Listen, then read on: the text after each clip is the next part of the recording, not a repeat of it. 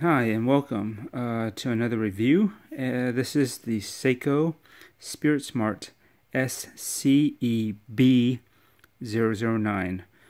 Uh, as you can see here, this is a uh, bullhead style chronograph.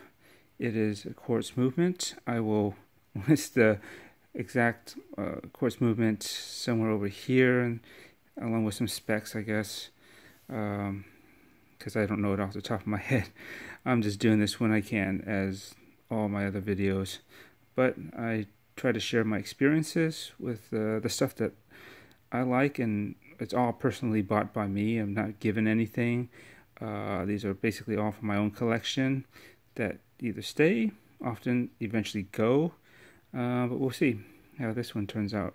Um, yeah, this is a model. It's definitely not new but is definitely very rare, uh, but not as rare as three other variants. Uh, this is again the SCEB 009, and uh, I'm going to flash over here the other models the SCEB 011 and the SCEB 013 and SCEB 015 and there's four of these and I believe I'm not 100% sure, but I believe they these models were basically produced right around 2011 or 2014, somewhere around the, thereabouts, from what I've been able to dig up.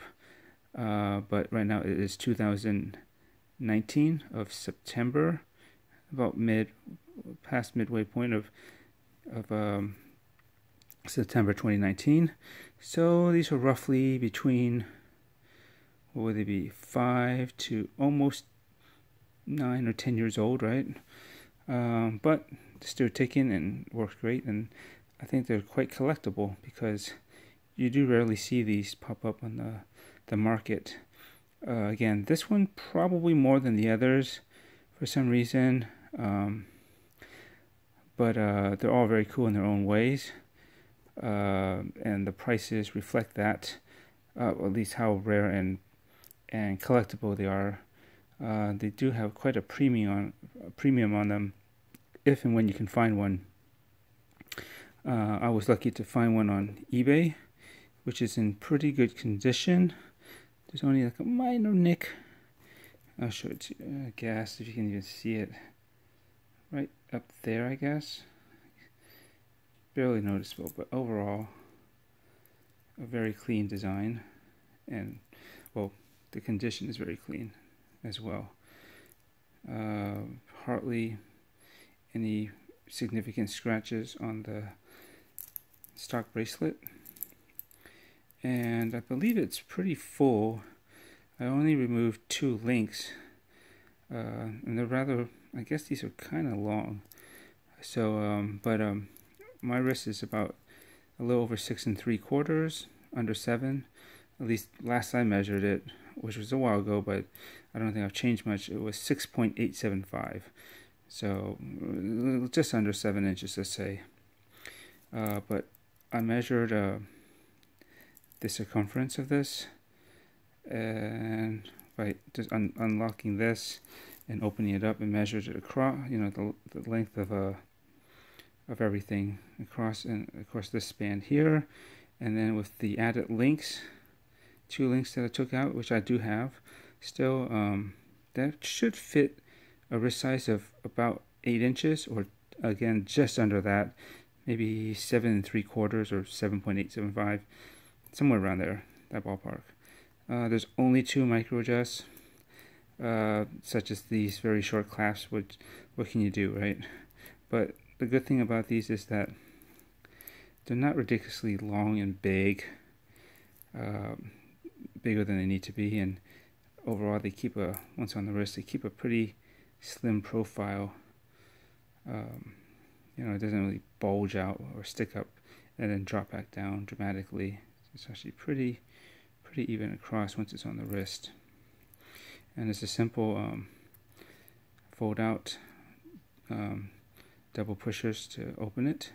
There's no obviously no safety lock. It's not a diver. It's just stamped but to be honest yeah, it would be nice if it was milled, of course, but it would probably add to the thickness. Uh, but in reality, these always work just fine. I've never had one fail on me. I don't really abuse any of my watches anyways, but uh, as far as I've ever known, these have never uh, gone bad on any watch that had uh, stamped uh, uh, the, the clasp here, or at least the folding portion of it. Just snaps shut. Um, I'll try to go over the dimensions, and if I miss anything, which I might, such as the thickness and the lug to lug, I'm going to put it up right around here. But uh, so I'm going to just offset this and just say that I know that this is 43 millimeters, which is actually kind of typical for a lot of bullhead uh, chronographs. Uh, you look at the vintage Seiko uh, 6138 and I believe they are 43 millimeters as well. This shows very much the same dimensions. And you look at the Straton bullhead, the, the Ligero that they just put out, it's a microbrand. Uh, very cool design, but it is actually, I think, at the smaller size, it is 43, uh, and um, they have two sizes, and then a larger version is, I believe, 45 millimeters. I rarely see bullhead designs go smaller than that. But anyways, it is 43, but if you can see down the profile of the case this way, um, it's not exactly straight up and down. Uh, I'd say the widest point is, it looks like it, to me, it looks like it angles or tapers ever so slightly in this way and a little bit that way. So the base is basically about 43, but the, you notice the bezel is kind of pulled in. And that will actually probably measure closer to I think 42 or 41 and visually it does look smaller than the 43 overall. Um, the lug to lug you can imagine it's quite short. It's probably to probably not much more than 45 if that. But again I, have posted it on the side here. Um, but I can tell you that these are, I don't know what the thickness is. I believe it's about 13, but again, I will post it, I would have posted on the side here. Uh, the lug width is uh, 20 millimeters, and I believe this does taper down to at least an 18, it seems like. Um, very close lugs, and they kind of, I don't know if they would say the underhang, but they they do hang kind of low off of the case and you'll see when I do a wrist shot, um, this hugs the wrist really well and uh, it's just comfortable. And the bracelet is not bad; it's actually pretty comfortable too. Um, but um, there is no real lug, so that's why I use the straight, straight uh, links all the way to the case. There's no like fitted uh, end link piece, which is fine uh, snap case back. I believe it's only like uh, 10 bar. Oh, I guess was at 100 meters. It's, it's all right, but there is no screw down crown. You just pop pull it out, and um, and now to first position to change the date, right over here at the four, and uh, or rather 445 ish and uh, pull it out again. Of course, the hack, the seconds, and then set the time. I believe when you're in, I want to say it's in the first position. It's in the manual, but uh, you can use these pushers to adjust the some of the hand alignments. Um, obviously, not the hour minute because you do that with the crown, but for the uh, center of the chronograph and even maybe the seconds and all those they can be adjusted I believe you pull it out to first position. And you either hold both or one of these. I think this one uh, for a few seconds. And then I think whatever does like a quick sweep um, is ready to go. And then you just push it to nudge it across until you adjust it to be centered as possible. And this one as you can see is slightly off. I did try you know, doing that adjustment to see if it'll be better center aligned, but actually it'll go on I guess slightly to the other side of that center line.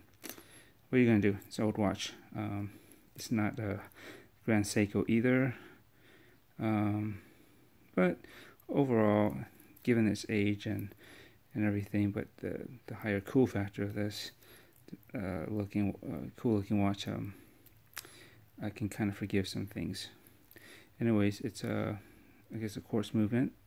It's not a mecha quartz, in case anyone's wondering. And just before I start it, you have the running seconds here.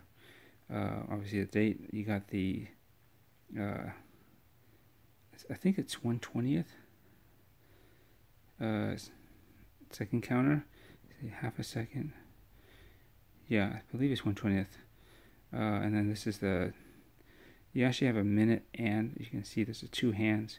You have a minute and an hour hand. So this can keep up to at least 12 hours. So you just start it.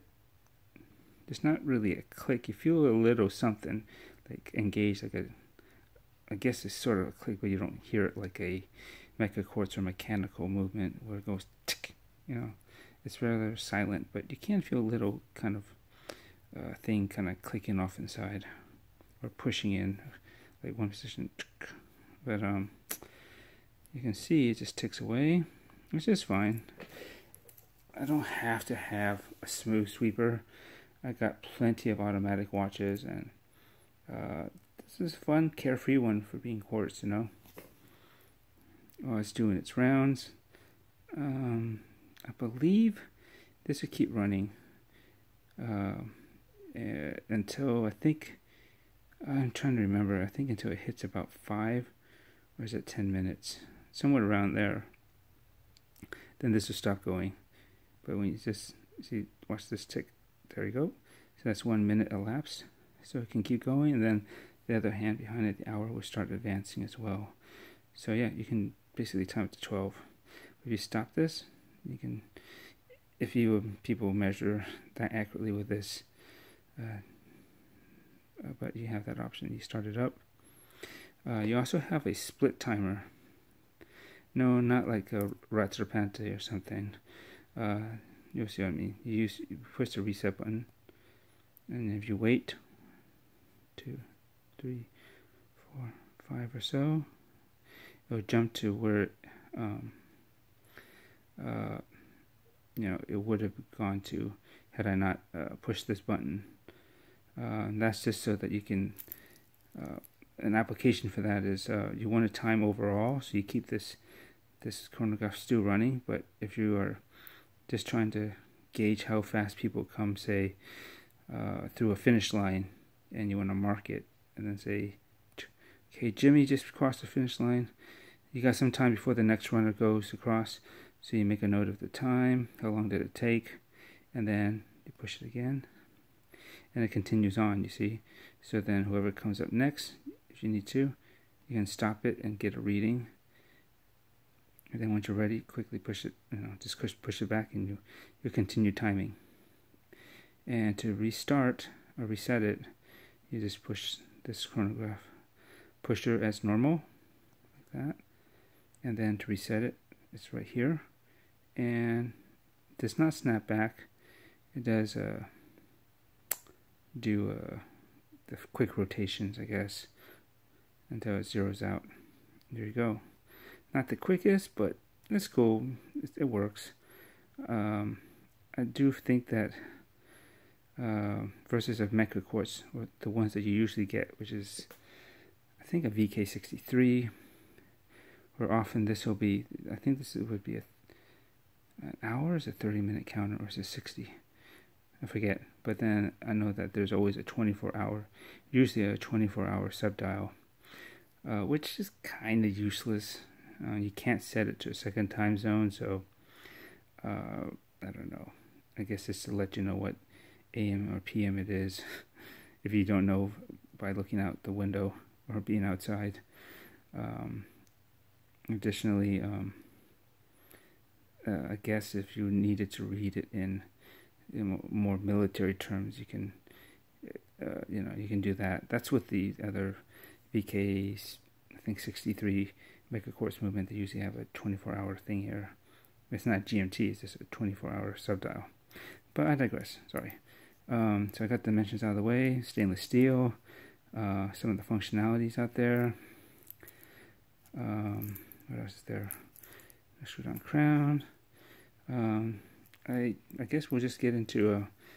Well, I think this is a, a pretty cool watch. Um, I always like bullhead design. I just think it's kind of cool to have this unusual uh, setup with the crown and and if you have pushers, it doesn't have to be a chronograph. You can still have a bullhead design. This is what they call it uh, when the crown's up here, at least. Um, just looks cool. Um, it's just different than having it here. It kind of keeps it more symmetrical. You definitely won't get pushers or a crown potentially pushing into your wrist from the side. And, um, you know, especially with this case shape, it's just very retro. I think this is very much a 70s uh, uh, product of that era of, of design, rather, uh, bullhead design. And you see that in the old vintage Citizens and, and of course Seiko, their 6138, um, which I guess this is kind of a, their modern, those, oh, those are really cool by the way, uh, the 6138. Uh, usually you see a lot of people with the, uh, the, the brown, the brown uh, dial and or accents uh, with some bit of orange. Uh, that's very retro. And then I guess there's that one that they call the is it the Black Knight or Dark Knight? I think it's the Black Knight.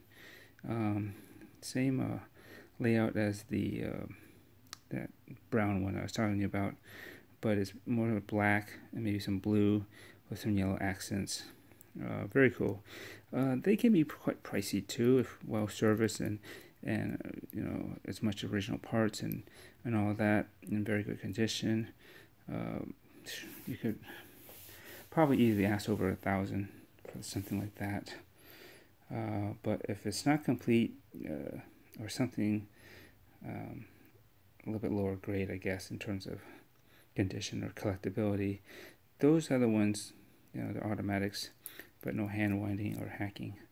Uh, it's just like the 6139 Pogues, You got to shake it, much like the uh, SKXs or anything that uses a 7S2 or 6 movement.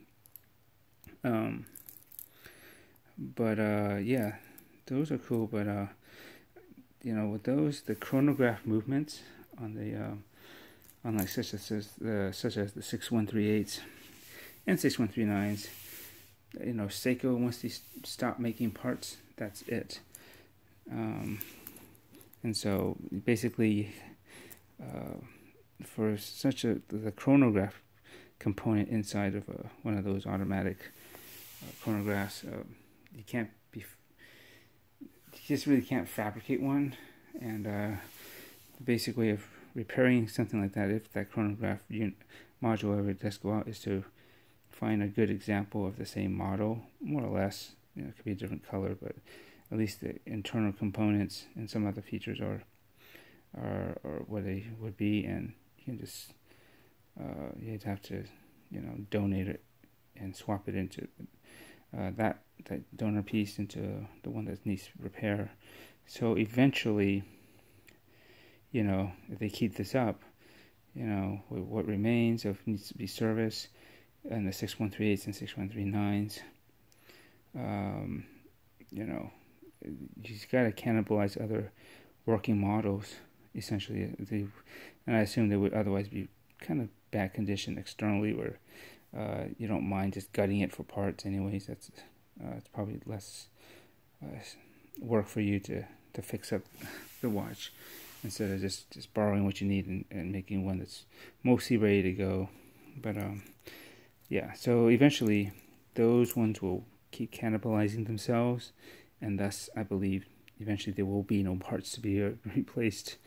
Uh, so yeah, it's the pitfalls of that until Seiko actually does maybe somehow revitalize that movement, which I doubt. Uh, so um, something to think about if you're interested in one of those 6138, 6139s. Uh, not all the components, well, all, all the components are basically discontinued. So uh, you just have left to scavenge what you can and put into the, the watch stuff repair and hopefully it gets it running. So these quartz uh, I would say these much more modern quartz versions of those, of the 6138s, although those had a more vertical layout of the dials. I think just two and a day date over here. Um, but, you know, it's still Seiko, so, and I think, uh, you know, without being a total uh, revival and uh, I wouldn't say copy because it's still Seiko. Um, you know, they just kind of made uh, bullhead chronographs with quartz movements for uh, the early or mid 2000s, right? Actually, I guess it's late because it's around two, 2010 to again 2015 or 11 to 14.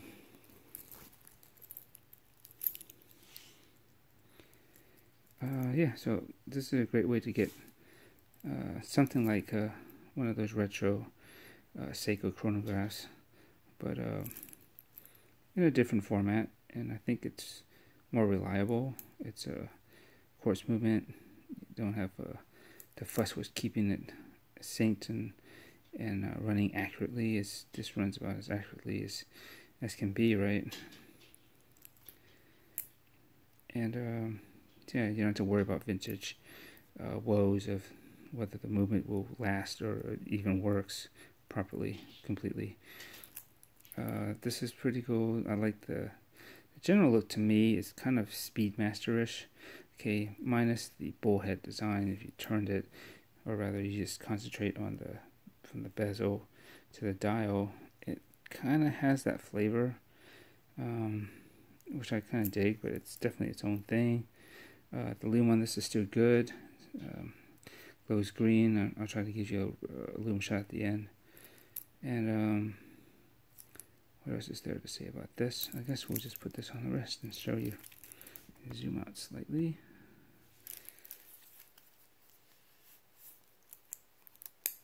Just goes in like that. As you can see, pull it back a little bit. I mean, it has a little presence on my wrist, but it doesn't exceed. You can see my uh, wrist size. and the lugs are right there, and the side is right here. So you got plenty actually wrist that comes off with that. So it's not that big because it's nearly a complete round of a 43, which is still which uh, lends to the very short lugs. And you see how I was mentioning how well this curves down. Uh, it's just Seiko magic. Not just this, but you know, especially their dive watches. They seem like they're, they do seem like they're on the larger side when you look at the dimensions, but they have a way of cutting the case and everything. That when you put it on wrist, it's still pretty darn comfortable, and it actually surprisingly fits well and smaller than you think it would. So I'm trying to get some distance here because something like this up close it can look bigger than it actually is in real life see if I can back it up a little bit more see and uh, these don't really get in the way to be honest never had it like oh man I'm stuck on the pushers of the crown no you know sleeve goes right over it just fine um, around it but uh, yeah, let me see here. Let me zoom back in.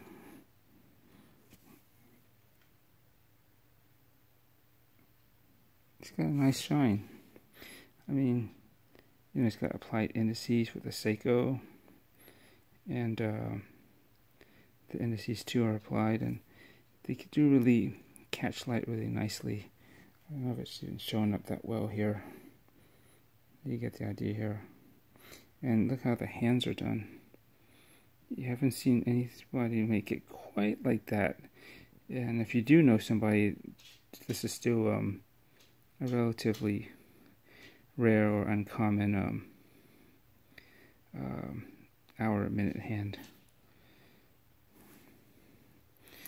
But uh, yeah, it feels great.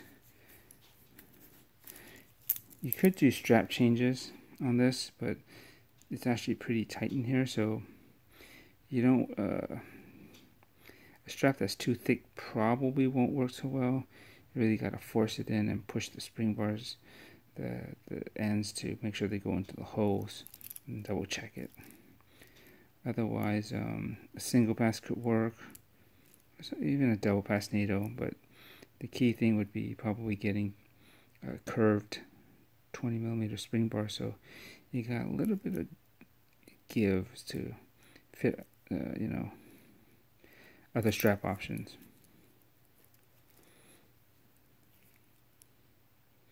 Uh, these are just, these are not screwed, of course, these just use a hammer and a pin to knock it out, but very easy to change. And um, if you look at this, it's not actually a black dial, it's like a charcoal, but it's got not really a sunray finish, but it's almost got a bit of a fume dial look. If you notice that it's kind of more dark gray or dark anthracite, whatever you want to call it, in the mostly in the center, and then it gets kind of dark towards the edge. So that's kind of a neat feature too. Um, there's not a hell of a lot more to say about this other than, you know, for the few months I've owned this so far, it's been great. Um, I love the design. I think um, it's very unique, especially the other three variants that I showed you earlier.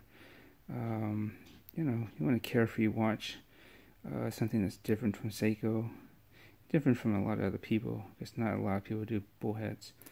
Uh, is a great way to go, and again, this, this retro design of the case works.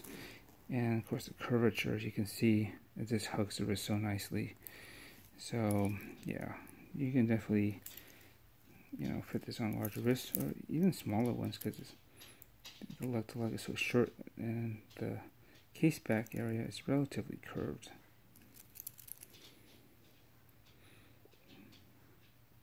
And do I mind the date window here? Probably not.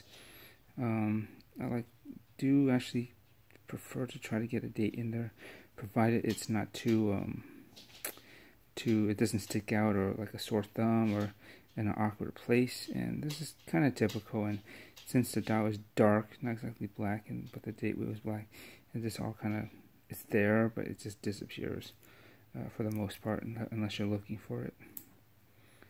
And that's pretty much it. Um, did I forget anything? I think that's it. Um, anyways let me uh, do a lume shot. There you go Here's the lume shot. It's definitely much brighter in person. Like it looks like this, but when it dims, it still looks kind of like this. So um, yeah, it's just green glow. Um, very simple. Yeah, there's not really any way to really differentiate the orientation. You know, it's not doesn't have like a at least a thicker or like a double double marker. Sorry about the this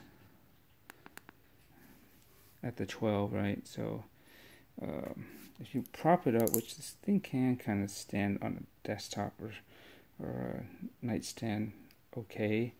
If you know your bearings, you should probably will still be able to make out the time. And definitely, I believe, on the wrist. Sorry on the wrist, uh, you you should be well aware of where 12 o'clock is on your uh, wrist. So, you know, you'll be able to discern the time still. Uh, but it's good. I always appreciate having a decent lume, if not excellent lume, on a watch. Let's make this brighter or turn back on the lights. Okay, so, um, yeah, the lumes are okay. So it does the job. Uh, but you know, generally you'd be lucky to get any lume on most, uh, you know, motorsports inspired uh, uh, chronographs or watches. They, for some reason, they don't think drivers will need to even be able to see time in the dark if they're racing late, uh, which is kind of funny to me. I think it's not just limited to daytime, although mostly, but you know, sometimes you're just cruising late at night. Uh, it'd be nice to be able to see something that uh, enhance uh, visibility at night with some lume. Uh, excuse the noise, it's my dog roaming around my room. She just woke up after um, trying to get to sleep. It is almost 1 a.m. It's not uh, in the afternoon. Again, I do these whenever I got a chance, so um, if I did space out earlier, it's because I'm dead tired because I got up at 5 a.m. and uh, no naps today. But I gotta keep doing what I gotta do.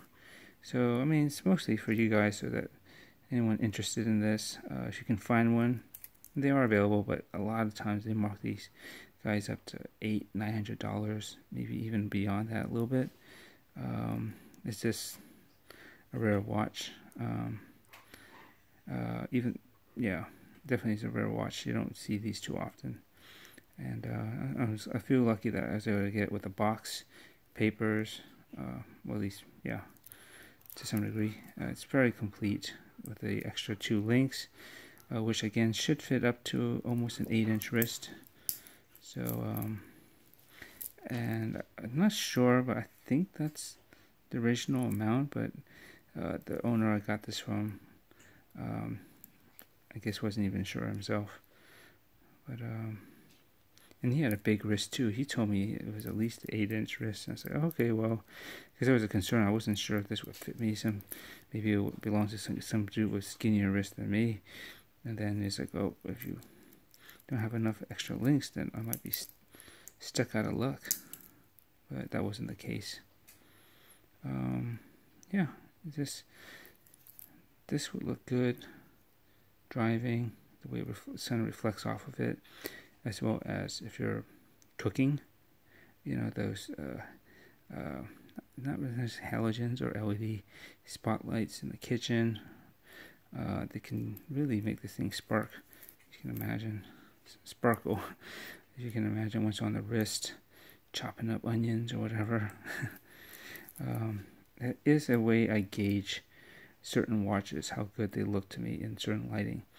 Uh, one is while driving, because your your hand is optimal to see, kind of look at your watch, anyways, with with the hands in the proper position in the steering wheel, more or less. And when you're in the cooking environment, at least the ones I see a lot is they got pretty bright lights, spotlights, uh, LED, I guess spotlights or, or track lights or the or some of the recessed ones, but you know, you got a lot of pretty bright lights going on there, and um, that actually looks pretty good too.